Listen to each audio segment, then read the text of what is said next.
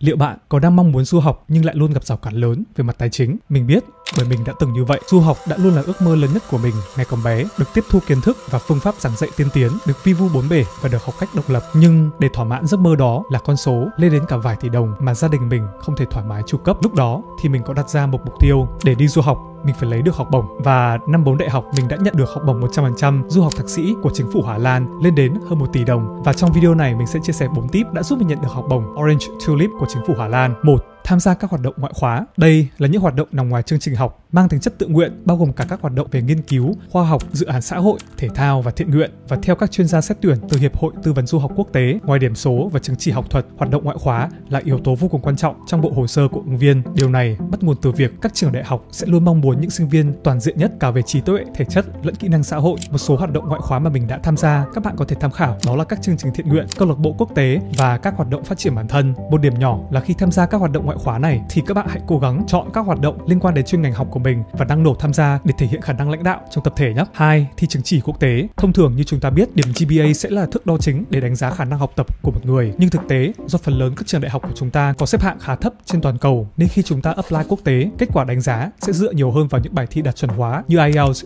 GRE hay GMAT. Và mình tin lý do lớn nhất giúp mình đạt được học bổng khi du học thạc sĩ đó là nhờ chứng chỉ GMAT khi mình đã may mắn thi được 730 trên 800 và lọt top 5% trên thế giới. Đối với những bạn chưa biết, GMAT sẽ là một bài thi về tư duy phản biện và logic dành cho những ứng viên muốn theo học MBA hoặc các bằng thạc sĩ liên quan đến kinh doanh, kinh tế, marketing hay tài chính. Và theo chuyên gia tuyển dụng tại Đại học Mỹ Michigan, GMAT là một trong những yếu tố tiên quyết để quyết định học bổng của một học viên. Đặc biệt là còn có rất nhiều học bổng chỉ dành riêng cho những ứng viên đã có điểm GMAT. Ví dụ như học bổng 4-day MBA của trường đại học Dartmouth chỉ mở đơn đăng ký cho những học viên đã có điểm GMAT hay học bổng của trường Erasmus tại Hà Lan và Dublin tại Ireland sẽ chỉ dành riêng cho những ứng viên có điểm GMAT trên 700. Thế nên ngoài IELTS, khi du học thạc sĩ, các bạn hãy cân nhắc thêm cả chứng chỉ GMAT nhé. 3. Đầu tư cho motivation letter là lá thư động lực giúp bạn thể hiện nguyện vọng và lý do bạn xứng đáng nhận được học bổng. Nếu điểm số GPA giúp các trường đại học đánh giá thực lực và khả năng học tập của các bạn thì thư động lực sẽ là cầu nối giúp trường đại học lắng nghe câu chuyện cá nhân, hành trình học tập và mục tiêu tương lai của bạn. Đối với những bạn nào giỏi văn thì đây là cơ hội tuyệt vời để bạn thể hiện bản thân và khả năng viết lách. Nhưng với bạn nào giống mình ngày xưa thi văn toàn được 4, 5 điểm thì có thể tham khảo bố cục dàn ý của mình mặc dù có hơi cố định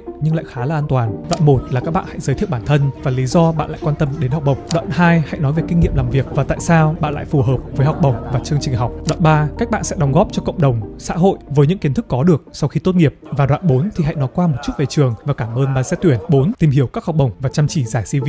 Đã đầu tư tham gia các hoạt động ngoại khóa và viết bài luận rồi thì các bạn hãy đừng tiếc thời gian giải hồ sơ, apply càng nhiều học bổng càng tốt các bạn nhé. Vừa giúp các bạn tăng cơ hội được chấp nhận, nâng cao tự tin khi phỏng vấn và đặc biệt quan trọng nhất là có thể giúp bạn đa dạng hóa nguồn tài trợ khi bạn vừa có thể nhận được học bổng từ chính phủ, vừa có thể nhận được học bổng từ chính trường học. Và đó đó là 4 tip đã giúp mình nhận được học bổng Orange Tulip của chính phủ Hà Lan khi đi du học thạc sĩ. Cảm ơn các bạn đã xem video của mình, like và subscribe để ủng hộ mình có thể ra được thêm nhiều video nhé.